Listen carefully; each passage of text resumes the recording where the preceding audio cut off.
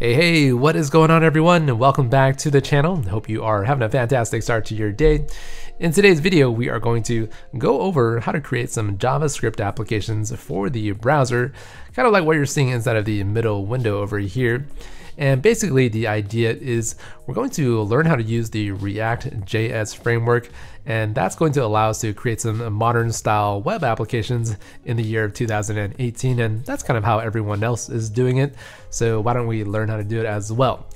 Now you can sort of see we have a ton of different topics to discuss in today's video. So before I dive into any of these topics, why don't we look at a demo as to what exactly we're to work on for the rest of today's video. And basically our application over here is going to search through the Movies DB API. And this API allows us to, you know, browse for movies and to get the overview, the movie title, as well as the poster for that movie. So if I type in the search term inside of this box over here, let's say we are trying to try to figure out what Wonder Woman looks like, right? We can just type in there and we ping the Movies DB API. It returns us with a ton of this data and then we can render it out in a table in a list view that kind of looks like that. So nothing too special about the UI, but uh, you might not know how to do this inside of JavaScript. So I'm gonna walk you through how to set up everything using React.js so that we can build out this entire application. Now, one last thing that you can do is you can click on this view button over there and it'll take you directly to the actual movie DB URL for that movie. So if we have the time, we might also build out that feature as well. Okay, so having said that, let's kind of take a look at all of the wonderful topics we are going to learn about in today's video. And the way we are going to actually get started with our application here is to install something called Create React App. And this tool allows us to start up our own local server. And browsing to that server, we can start messing with our application and start editing what's already there. And then as we slowly move through today's lesson, we're going to customize it so that we can search for things using this search box and then stylize our UI just a little bit with some HTML. So speaking of HTML, the second topic we'll have to discuss is how we actually create HTML views using something called JSX. And uh, JSX sort of allows you to write HTML inside of JavaScript files. And that might sound a little bit confusing, but it's actually really, really simple and straightforward. So I'll show you how that works as well.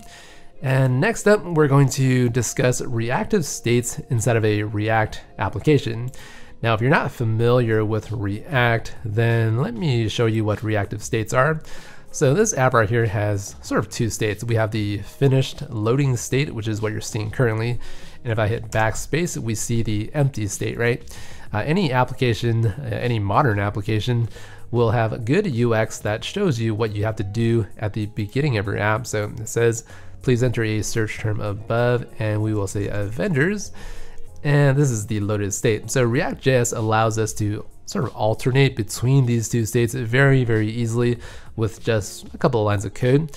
So once we get to that point of our app, I'll show you how to kind of work that into our code. And the next topic is to sort of talk about how we fetch movies using jQuery. So all this data is actually retrieved from the Movies DB uh, Open API, and I'll probably talk you through how to create an account at Movies DB so you can also access the information here. And finally, the last topic of the day that we would hopefully like to get to is the idea of refactoring our code so that we can separate all of our React components into separate files and I feel like that's really important, so I would like to get to that topic and show you how that is done. And that's pretty much all we are going to talk about for today's lesson. And because I already know that it's going to be a rather long video, I'm going to provide some timestamps down in the description below. So if it's your third, fourth, or even fifth time watching today's lesson, you can use those timestamp links to sort of just jump around between each of these topic uh, topics in today's video. So that's going to be the plan for today's lesson. Hopefully you are excited. Let's go ahead and begin by installing the Create React App tool using the terminal right now. Alrighty everyone, we are back inside of the coding session for today's video. And the way we are going to start off today's lesson is to create our React.js project inside of this terminal box somehow. And so let me show you how to do that by first installing this tool, the install-g for global. Let's install the create React app tool like that. And you might have to punch in your password, but once you do that, you will now have access to the Create React App tool like so. Uh, I am going to use 152 for the version. It might look a little bit different for you by the time you watch this video, but uh, it should still work nonetheless. And let's see, over here, I am going to say pwd for my path. I am inside of my projects directory. I am going to say create React app, and I'm going to create a project called movies search like so hit enter, and it's going to go ahead and create a React app inside of this directory called movie search. Uh, you can call your project whatever you want, it should still work. And what it's doing now is it's installing a lot of different packages. Uh, the first one is React, the second is React DOM, and then we are installing a bunch of React scripts that will allow us to pull up a local server inside of our browser. All right, so everything looks pretty good we were able to create our project and we can run npm start to start our server and a, a, bunch of other commands as well. So pretty good start there. And instead of using the terminal over here to start my project, why don't we go ahead and hop into Visual Studio Code, which will be our editor for today's lesson. And the easiest way of doing this is to obviously go into Google and download Visual Studio Code. And once you install it, you can say open dash A for the app and Visual Studio and code like so. And let's open the directory of movies search, which is available now. And once you do that, Visual Studio Code will open for you with your project loaded. So I'm going to drag this sucker all the way to the top left and drag this down a little bit so I can see all the code. And inside of our movies search project, you can see that you have this very, very important file called app.js, which extends a component. And uh, there's a bunch of code here. And uh, what does this do? Well, uh, I'm going to show you exactly how this is going to render out inside of our browser by starting up our application using the terminal that's built inside of Visual Studio Code. Well, that's not exactly true. First, you have to go inside of the extensions and search for terminal. And the one I have installed is the one by Jun Han. Make sure you install that and you'll get this little nice button down there. All right, so awesome stuff. And the first thing you want to do is to start up your server by saying npm and start and then hit enter. And it's going to start our development server, so pretty awesome. And once it's up and running, you will see your React application with this spinning nice little electron icon. And down here it says that to get started, you want to edit this app.js file over here. And that's exactly on line 14. So awesome stuff. Uh, this is how we get our React app created and up and running, and everything looks pretty good. Uh, I'm going to remove this line, hit Command S to save, and your changes are reflected pretty much automatically uh, because your npm start command down here automatically looks for changes in your files and it's very, very smart and easy to get going here. So we'll say hi there from app.js, hit Command S, and you'll see those changes just like so.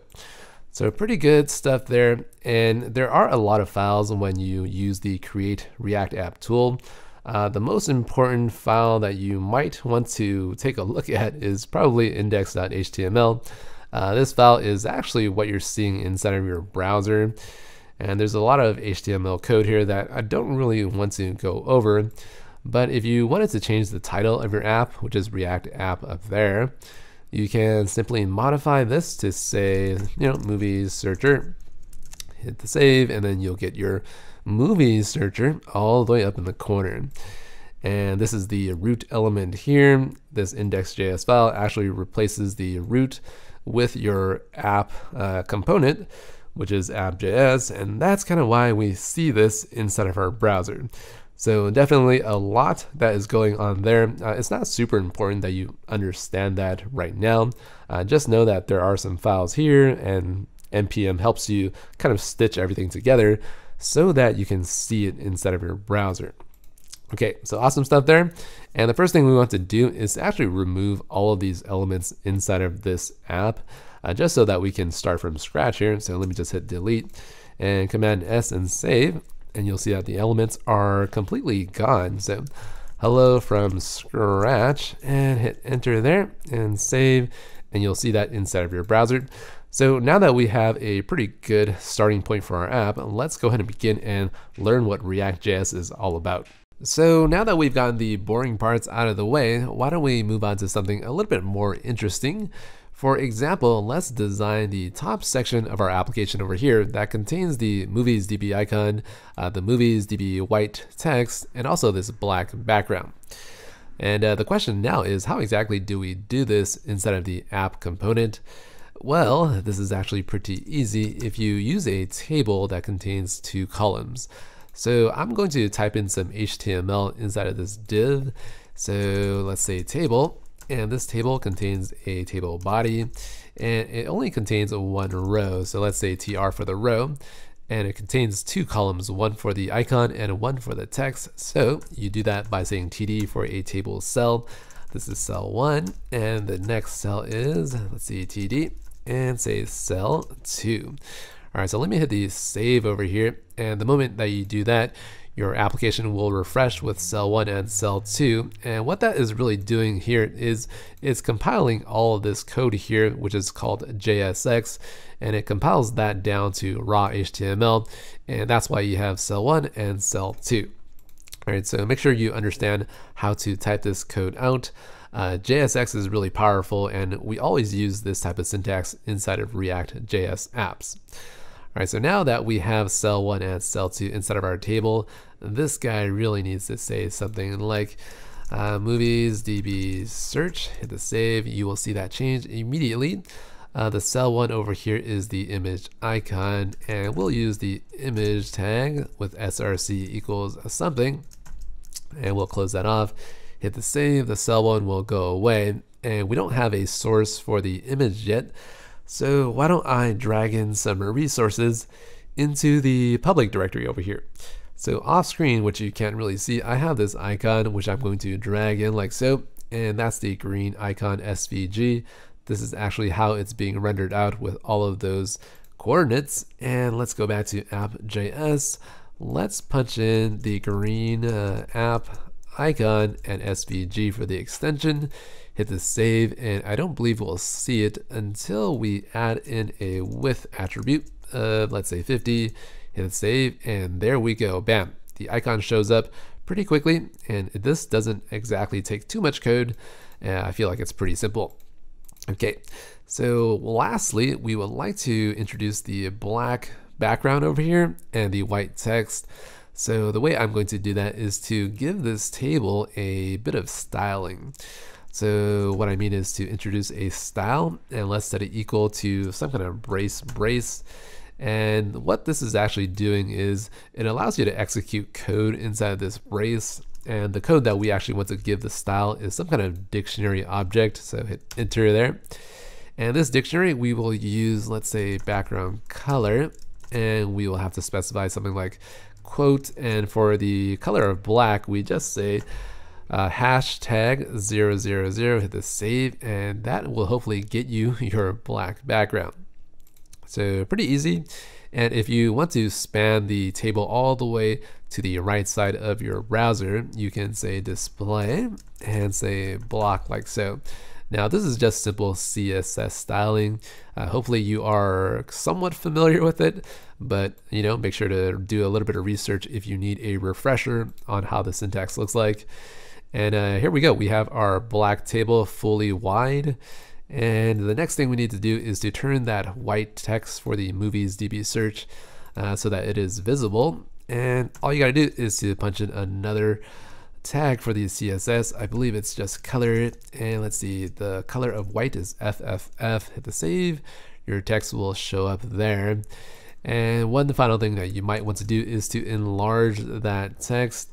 Uh, you might just want to use, let's see, a header, but I don't think that actually works. So let's say font size, and let's give this guy a 24, and let's hit the save. That should hopefully change it to that. It's not exactly what you're seeing over there, but I think that looks pretty good. Uh, maybe this guy could be a header tag. So let's say H3. And let's cut this guy, put that in there, and hit the save one more time. And there we go. We have H3 looking like that. Uh, maybe we can just get rid of the font size, hit the save one more time, and there we go. Maybe this is an H2. Not exactly sure what the original styling is over here. And, uh, you know, finally, let's try it with H1 to see how that looks like. And there we go. The Movies DB search kind of looks like that over there. Now, if you want to move the icon to the right a little bit, all you got to do is to use some padding for your table. So let's say padding left, uh, let that be a value of 16, hit the save, and that will move it to the right a little bit. I think I've included some spacing over here in between. So if you want to do that, maybe you can say table over here and with, let's see, the table cell will have a value of 8 and let's close that off, hit the save, and that'll push it to the right a little bit. So depending on how you want to style it, this is a good way of providing some inline styling for your HTML tags. Now, a lot of this styling code over here doesn't exactly belong inside of your app.js file. So instead of a production application, you should actually move all this inside of your CSS files for the CSS styling. So let me show you how to do that by first copying some of this code and opening up app.css. We already have a ton of classes over here for the app. So why don't I create a new class called dot title bar brace over there, and I'll just paste in some of this code. Uh, what you'll notice is that the inline styling syntax uses camel case, and instead we have to use, let's see, snake dash casing over here. So 00 for background color of black. And I think we actually have to use a semicolon to end our line. So hit that. And let's say display of block. And I'm basically copying these bits of code over there. And color is going to be FFF for the white text, and finally padding left over here. I believe we have to specify 16px for the pixel count. I don't think uh, 16 without the ps will work. So here we go. Let me hit the save one more time. And what you want to do now is to go back into app.js. Uh, you can now remove all this code over here and just use class name. And the class name we gave it is title bar camel cased and hit the save one more time, you'll see that everything looks the same, right?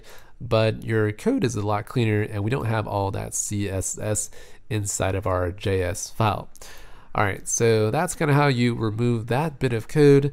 Uh, if you go inside of your Chrome browser, you hit Command Option and J at the same time, you'll see that you have some warnings here that uh, it's complaining about the logo, and you see that warning down here as well. So what I would like to do is to remove this logo that it's complaining about, backspace, save one more time, and the image elements inside of your web applications need to contain this alt property. And let's just give it that and give it a description of app uh, icon and hit the save. That warning should go away and close off this guy one more time and everything looks pretty darn good right now. So why don't we move on to the next thing we want to tackle, which is to maybe introduce this input option or this input component inside of our application. And that's pretty easy. All we got to do is to move below the table area and down here, we are going to introduce this input right over there. So let's say input and let's give this guy a placeholder and let's set it to something like enter search term, whatever you want, close this off, hit the save, and you'll see that over there. Now, I don't know if I want to provide all these styling for these components because that's not super interesting, but you'll notice that you can just type in something over here. And if I provide some maybe inline styling, so style equals some brace brace with a dictionary object, this guy we will use maybe font size to make this a little bit more visible. Uh, set it equal to, so let's say colon, and give this guy 24. And hit the save, the text will appear a lot larger and much easier to see. Let's say we give this guy a display of block. I wonder what that does. And so that doesn't look good. I think we have to provide a string for each of these properties. And here we go, block makes it appear on the left side. You can give this guy a width if you really wanted to do so. So comma, And I believe we can say 100%, hit the save, and that extends to the right side a little bit. I noticed that it actually extends beyond the bounds of the browser. Not exactly sure why, but I believe 99% will fix that. And that's kind of how we get this search term box going over there. Uh, it doesn't look perfect, so let me fix this over here with padding top of, I don't know, maybe 8. And uh, padding bottom can give you 8 as well. I think we want to say 8 like that. Let's save one more time. And finally, if you want to push this over to the right a little bit so that it is aligned to the icon, you can provide something like padding left and let's give it a value of 16 and right when you do that you see that the enter search term placeholder is pushed to the right a little bit Alright, so pretty good stuff there. And now that we have some of these basic elements inside of our HTML page, let's move on to something a little bit more interesting that is more related to React.js, which is to introduce some of these rows down here inside of our application. Now, the way to do this is to actually use something called a state object. But before I do that, why don't we look at how to introduce some p tags down below. So p, this is a row. Hit the save, you'll see that row down there. If you copy this a couple of times, you'll see those additional rows as well. And obviously, we don't really want to construct this by hand manually, so let's remove that. Hit the save one more time. And what I'm going to do now is to introduce some state inside of my app component class. And the way I'm going to do that is to override the initializer, which is called constructor. And it comes with this props uh, parameter, so make sure to call super with props as well. And I'm going to omit all the semicolons in my JavaScript application.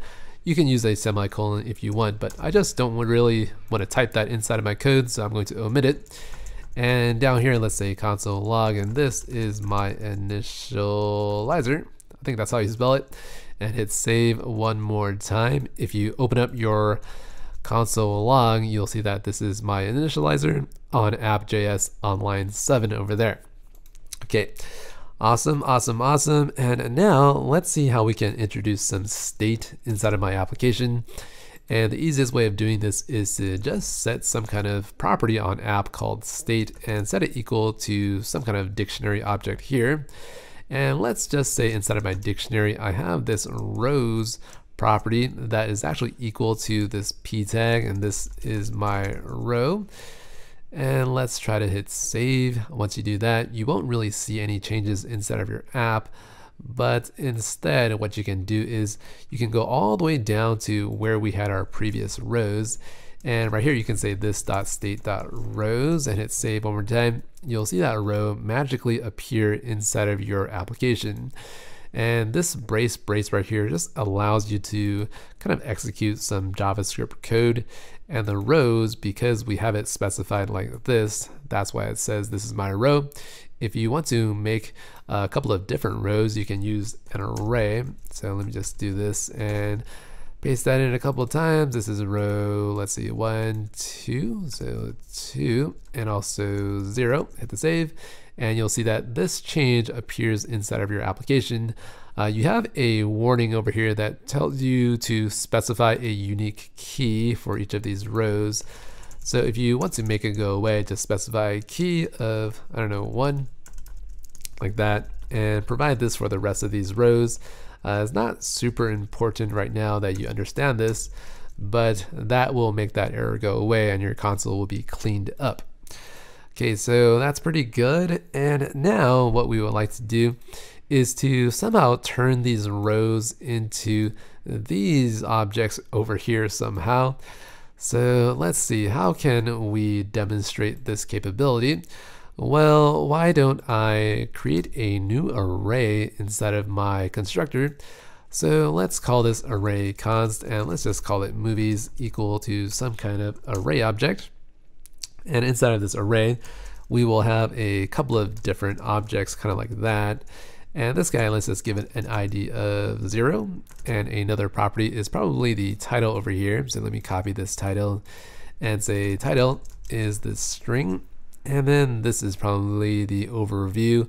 Let me just copy up to this portion of the text and let's say comma overview and let's just equal to that. This might be a little bit too long, so let me just remove some of that. And there we go. I can also close this off by just clicking into that. This will give me a little bit more space to work with. I believe if I hit enter, that will not work. So let's just undo that. And we have our overview over there. So if I copy this entire uh, dictionary object and paste that in as a second one, you'll see that we have ID of zero, ID of one, and the second title will be Avengers over there. So let's just paste that in there. And the overview, we will just say, you know, this is my second overview. All right. So now that I have these two objects in here, I actually want to construct my rows using these two objects somehow in the movies parameter. So the easiest way of doing this is to actually do this over here. I'm going to say movies, and I'm going to execute a for loop on movies. So you can say for each like so. And the way that you execute a for loop is to use this bit of syntax. So let's say movie and use this fat arrow and brace brace. And down here you can say console dot log and you can log out anything you want inside of this movie object and this object contains the title and overview and ID. If you just specify movie.id, you can see what that does inside of the console. So copy or hit the save and you'll see zero and one. This guy, you can say title and you'll see the titles as well, Avengers and you know Infinity Wars and Avengers like that. Okay, so now the question is how exactly do we turn this array into actual rows for my HTML page? Well, this is pretty easy if you declare another property over here. So let's say const now, let's say var movie rows, and we will set this equal to an empty array like that. Remove the semicolon. And inside of here, you can actually just push things onto the movies rows object. And let's see, dot push is what you need to call. And inside of the actual push, you can specify the p tag. So let's say the p tag, and this is my, let's see, movie title, colon, and we'll say brace brace like so, and you can access movie title like that.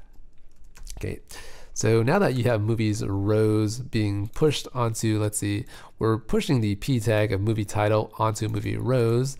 At the very end, you can simply say this dot state and we can say this dot state equals this object instead. So movie rows, and we can say movie and rows from above.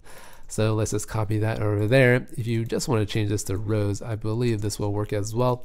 So I'm going to hit the save right now. And you can see that we have movie title, Avengers Infinity War. We have this key warning again. So if you want to fix that, you can just say space key equals this brace brace thing. And you can say movie.id because all of the IDs are different. And once you do that you see movie title and you'll see this brace value on the right side over there. If you remove that from the actual uh, p tag then you'll just see the title and you can kind of see slowly we can morph this into each of these rows over there. Okay, so now that we're able to render out some of our movies rows based on what is inside of this movies array, why don't we add some more detail to each one of these rows over here? So for example, we want to render out the poster on the left, the title in bold, and some of the text right underneath it. And I'm going to use a table component for each one of these rows. And it's very similar to what we have up here. This is a table with two columns, one for the image and one for the right side information.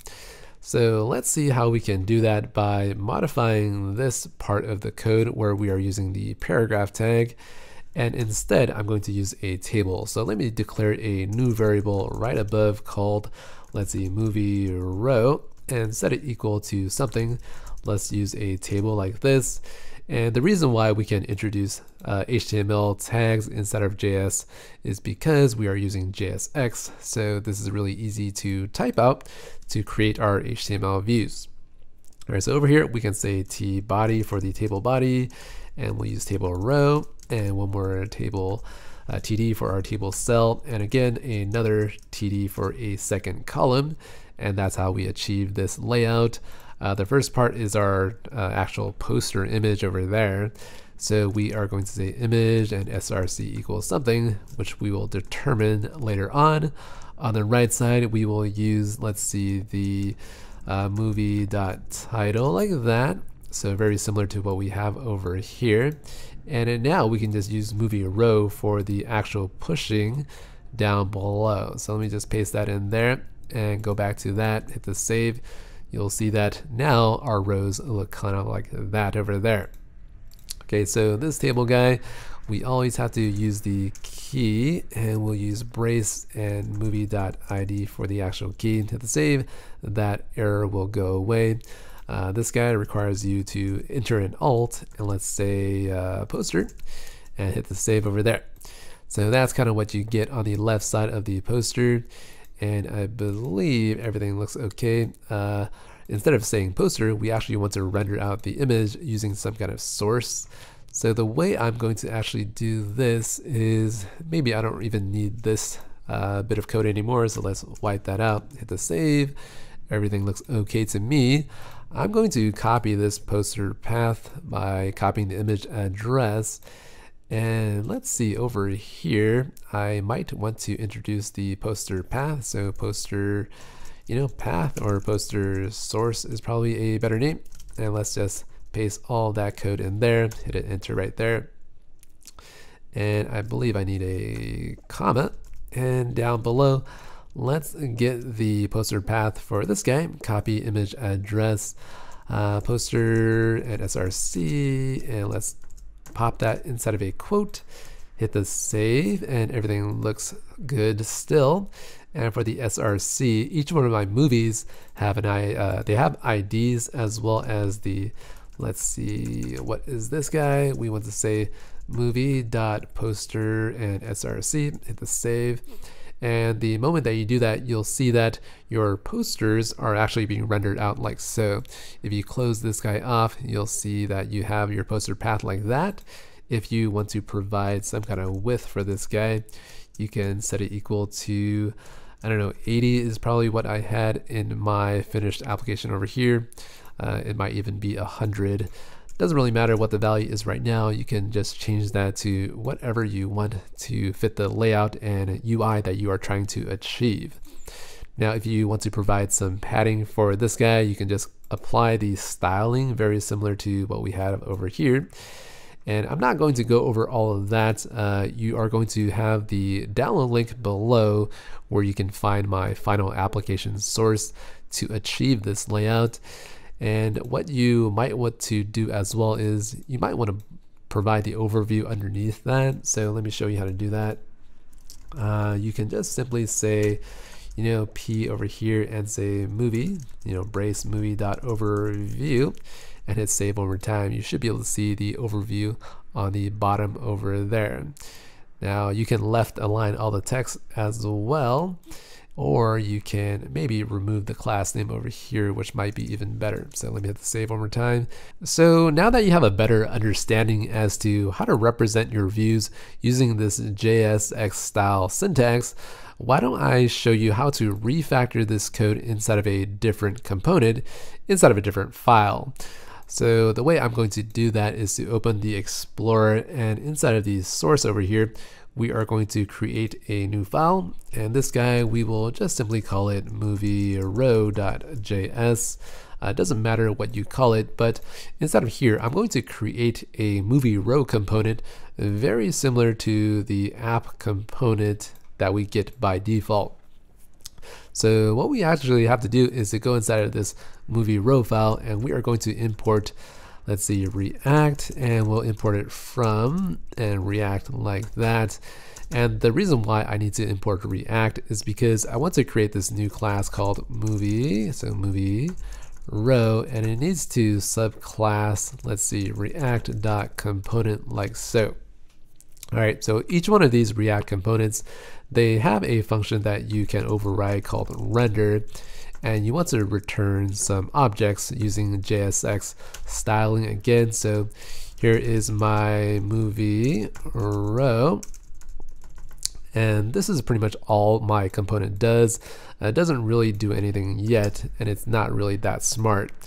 So at the end of these component files, you can say export default and give the actual thing you want to export as the last parameter over here, and you can hit save one more time.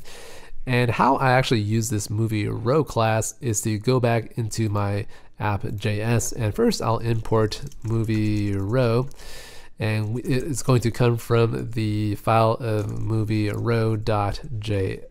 Hopefully I am calling that correctly. I'll hit save one more time and hopefully everything still works. And movie row is defined but never used. So why don't we go ahead and use that inside of our application somehow. So down here is where we are kind of iterating through the movies array and constructing the movie array over there, right? So if I comment out that, and if I say const movie row equals movie row, and just end that off, hit the save one more time, you'll see that all of my movie rows just turn into the text that we have inside of the actual component itself over there. So that's kind of how we separate our components into different classes. And now obviously we don't want to see this, but instead we want to see this bit of JSX HTML. So why don't I uncomment that out and I'm just going to cut this portion of the code, remove that, and inside of the movie row, uh, the component itself, I'm going to replace the div with the actual table. And if I hit the save right here, you'll see that I'm going to get some errors because uh, inside of this class, we're trying to access movie.id, poster title, and overview, but we don't have this object called movie defined inside of this uh, class anywhere. So how do we actually pass in the movie object when we are iterating over the movies array? We need to pass this inside a movie row somehow. And the way we are going to do that is to actually do this over here. We're going to just simply specify a attribute on movie row and this guy will be just simply movie or whatever you want to call it and we are going to say brace and we'll just pass in movie directly like so. So this refers to this component over there. This is just the attribute name. And if we save this file, we are going to get the same error. We can now move back into movie row.js and we can access the movie through the props parameter like so. So each one of these components have a props property. That's kind of what it's called. And so let me just copy this and paste that in front of there, hit the dot. And let's see, copy that and paste that in there, there, hit save one more time. And what will happen is all of those errors will go away because we are now accessing movie on props. And the reason why we are allowed to do that is because we pass the movie object into the movie row and you just access it through the props property. So that's kind of how this works over here. And you can see that the code is much cleaner. We don't have all of that table mess inside of this constructor function. And all that code has been moved inside of movie row, which it should really belong to in the first place. Okay, so now that we have most of the UI rendered out inside of our application, why don't we move on to hooking up our app to some data that comes from the internet, right? So over here, we can just search for things like Wonder Woman. And this is actually fetching some data from the movies uh, DB API, so moviedb.org. And if you go to this website, you can read the documentation as to how the API works. But basically, I'm going to use the search movie endpoint. And if you provide your API key as well as the query for what you want to search for, you will end up with this JSON result over here. And so results is an array, and this contains all of the movies related to your query. So Marvel looks like that. We have Captain Marvel for the title. So title's up here. We have the poster path. We have the overview down here. And this is just repeated for the rest of the search results.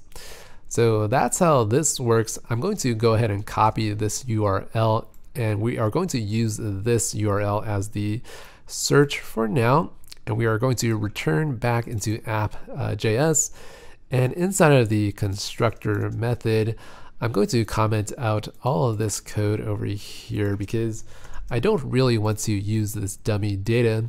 And instead, we are going to use a brand new method over here. And I'm going to call this method something like uh, perform search. And this method I will create over here called perform search. Maybe it's called functions in JavaScript. But over here, we are just going to say console.log perform search using MovieDB uh, and hit save. And once you do that, you'll see that this kind of goes away. And down here, this .state.rows is actually giving you an error because state is a null object. So let's fix that really quickly by going back up to the constructor.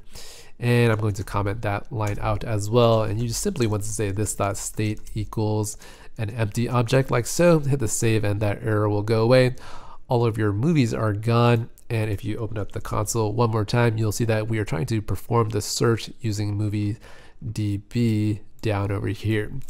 So the question now is how exactly do we fetch the data coming from this URL uh, inside of JavaScript?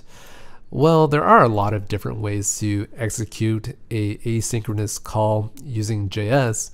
And I find that the easiest way of doing this is to actually use jQuery, which is a pretty standard library inside of HTML apps. So the first thing you need to do is to kill your application over here with Control C and execute npm. So npm install jQuery. And that's going to pull down the necessary jQuery libraries into your project. And I believe it installs it instead of node modules over there. And if you look at your package.json file, you'll see jQuery as one of your dependencies. So that looks good to me. And the way you use jQuery instead of your app.js is to first import it. And I'm going to say import dollar sign of jQuery. And this syntax might look a little bit confusing. I know it definitely was pretty strange for me at first, but basically dollar sign now represents exactly the JavaScript or jQuery library. And the way you use the dollar sign now is whenever you are performing your search, you can simply say dollar sign and jQuery has a method called Ajax on it that allows you to perform asynchronous uh, method calls or asynchronous calls to fetch data from the internet. And all you have to do is to provide a dictionary of options to actually get data. And the first thing you want to do is to use this string. So this string over here for the API, let me just copy that. And right above, let's say const URL string equals all of that. So that looks pretty good. Uh, you might want to use your own API key, but I'll tell you how to sign up for it uh, momentarily. It's all free.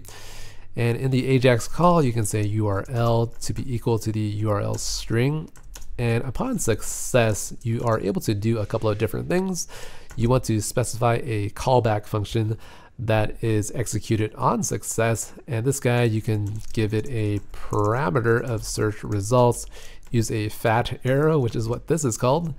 And right at the end of it, you can just simply say console log and fetched data successfully, whatever message you want to give it. And the other uh, property you want to specify is the error callback. So this guy is a little bit more complicated. You can specify XHR status and error. And for this guy, I think we need the fat arrow again. So fat arrow and console. And instead of using log, we will say error and fail to fetch data. And we can now save it. And what this is going to do is it should execute your code, right? But Previously, because we killed off the application, we are going to start it up again with npm start inside of the terminal over here. And once it starts up, you'll see that your application should execute. And over here it says fetch data successfully, which means that we executed line 38 over there. If you modify the URL to be something incorrect, you can run that again and you'll get the error that says fails to fetch data on line 41. So why don't we undo that change, save again, and all of your data is being fetched correctly. And so now that we're able to fetch our data successfully using the jQuery syntax over here, we would like to make use of the data that's coming back to us from this search results parameter. So let me first show you exactly what search results is by console logging it out over here. So fetch data successfully. The search results has this results property on it that is an array if you open that guy up and look at the first object in there, you have the title of, I believe it's Captain Marvel, you have the poster path, you have the ID, as well as some other interesting information on your objects. So the way you access the results is very simple. You just want to say const and let's say results equals search results dot results like that. It's pretty much whatever this property is called over there. And uh, what you can also do is to just simply say console.log and we'll log out results and we'll get the first element out of it, hit the save, and it might look a little bit cleaner on the console log over there. All right, so that's how you access the results, and you can also execute a for each uh, loop on this parameter, or this property rather. So for example, you can say results dot for each, and we'll use the, let's see, the fat arrow syntax. So this guy is actually a movie, and we will just use that. Let's say console dot log, and you know you can say movie dot title, and if you remove this over here and hit the save, you can see that all your titles are showing up just like this. So Captain Marvel, Marvel One Shot. If you change the query over here, so query equals Marvel, you can actually modify this to whatever you want. So Avengers, hit the save. You'll see that the titles will change to Avenger Infinity War and the Avengers, and you know, so on and so forth. Okay, so now the question is, how do we morph these movie objects into those table or the movie rows that we had previously that kind of looked like this over there? Well, this is actually pretty simple if you simply declare your, let's see, movie rows, very similar to what we had previously up there. So all of that commented out code, we are going to use that inside of the success block right now. So what you can do is inside of here, you can simply say uh, movie rows dot push, and we want to push a movie row of some kind. So let's declare that up here as movie row equals, let's see, the movie row class that we just created with the movie property of brace, and we'll say movie like that, and that with a slash, and we'll just push the movie over there. And what you want to do down here as well is after you construct your movies array, you simply want to say this dot set state and we will set it to some kind of object. Now previously we had the rows property so let's use that again and punch in movie rows and let's see if we save it what happens. Well it says that duplicate declaration of this movie object so what I want to actually call this guy instead is movie row and paste that in there, hit the save one more time and hopefully we'll get something to show up.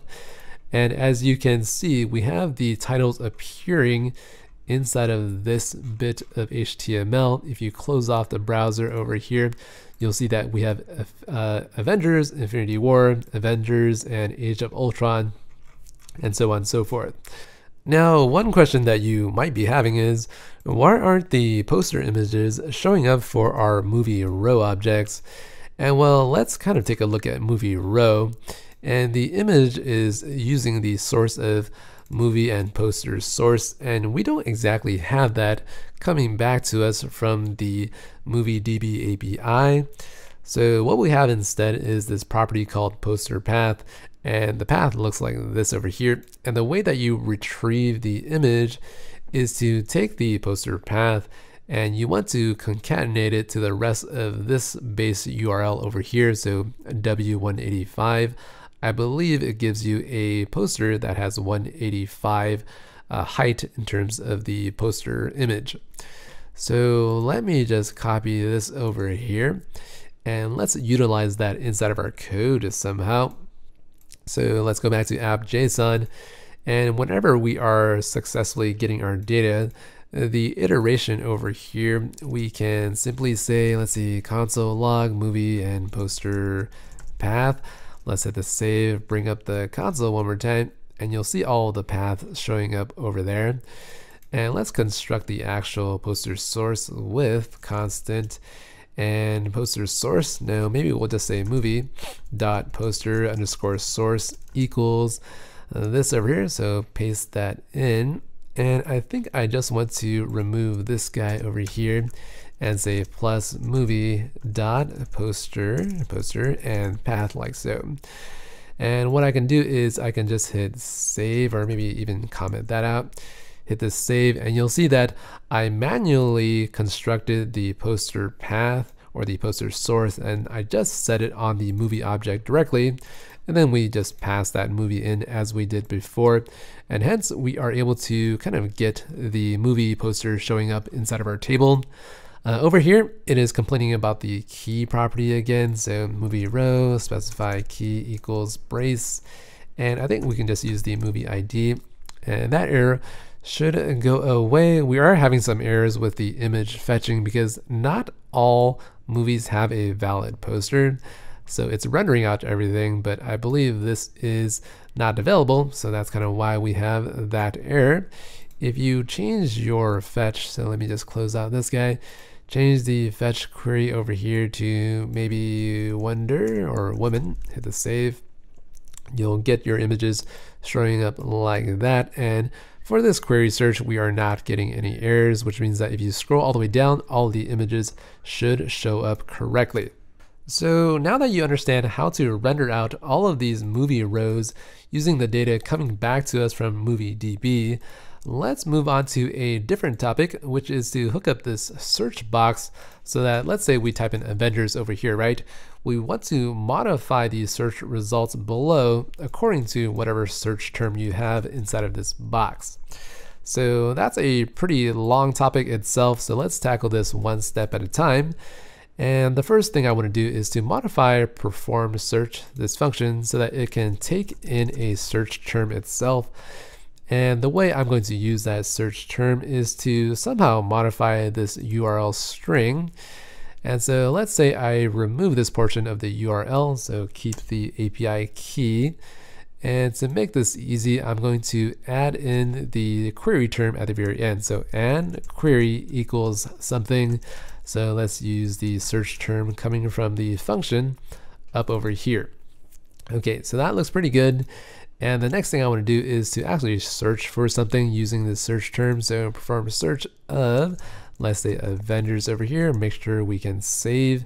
And the actual results is related to this term right now. So Ant-Man, hit the save again, and you'll see that the results are changing accordingly.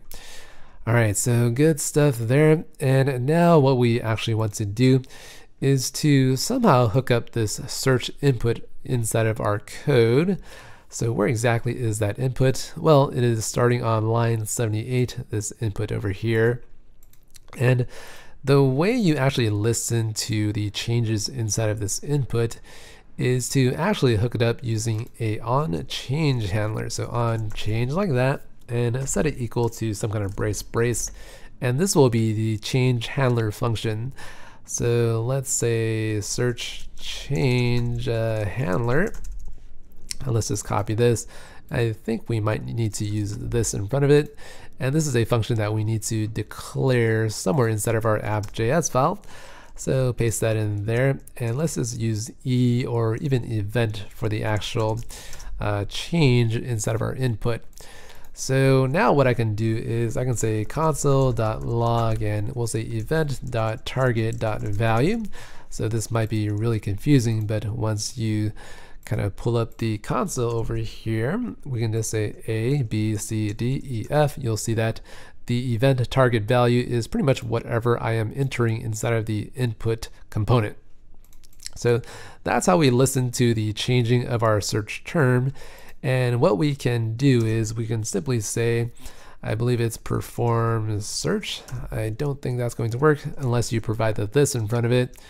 And so perform search, you just want to say, let's see, const uh, search term equals event target dot value and perform the search with that search term from above. If you save, I don't think this is actually going to run. So let's see, I will say A, B, C, and you'll see the errors showing up right there. All right, so the first question is why exactly is this giving you an error? And what does cannot read property or perform search from undefined? What does that mean? Well, we are trying to call this perform search function on this object over here. but this is undefined according to this error message. And what exactly does that mean? Well, let me try my best to explain to you what exactly that is. And so down over here in the input, we are calling this search handler function. And if you use a bind over here of this, this is actually uh, going to bind this current app.js file or this class. It's going to bind this entire class to the value of this inside of this function. So maybe this is a little bit clearer. We can say uh, const and bound object equals this. Okay. So this object over here turns out to be the bound object because you bound it to the this variable. And then over here you can actually use a bound object like that. And if you hit the save and run this again, so we'll say woman, and you'll see that all of the results are changing according to what you type out in that box. All right, so the bound object explanation is probably not the best that I can do right now, but uh, basically this guy allows you to bind the, this object to this inside of this function scope, and that way you can actually call the perform search function on this entire object, and that just magically works. And so the final piece of functionality that you might want to include inside of your application is the ability to click on, let's say this view button and have it take you to the particular URL for this movie over here called Avengers, right? So let me show you how to do that by going into movie searcher over there, go inside of our movie row.js file. And inside of here where we have the title over there and then the overview right below it, we can add a input button using an input of type equals to a button and the value is going to be the view text like so. Hit the save and you'll see that button show up right over there. Okay, so this is the title. Maybe we want to have a header tag for it. So let's say h3 is a pretty good header.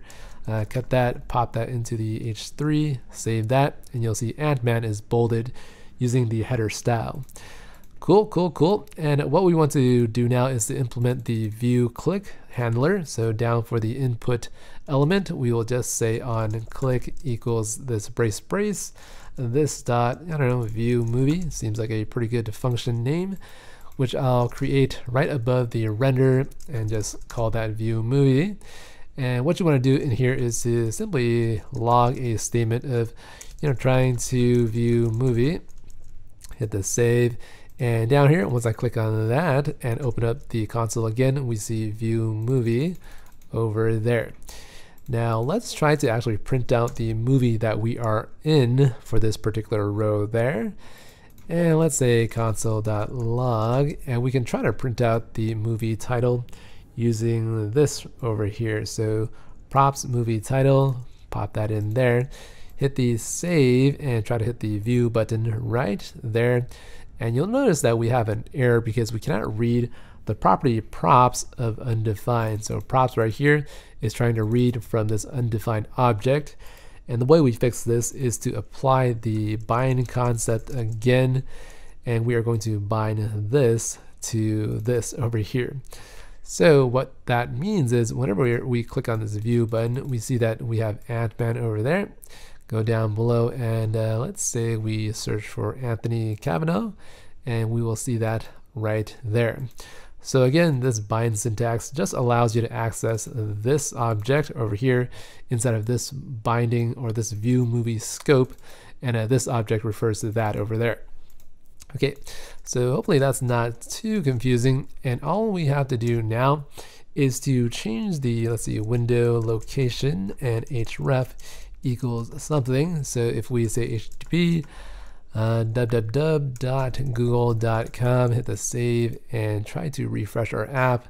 Click on Ant-Man over there. This will take us to google.com. Uh, going back one more time, we obviously want to do something else. So I have some code on another screen here. And let me just paste that up there. The URL that we actually want to navigate to is going to be constructed from the moviedb.org movie and then some kind of movie ID. So this guy over here, I'm going to use props.movie. Is that what I want? Movie.id.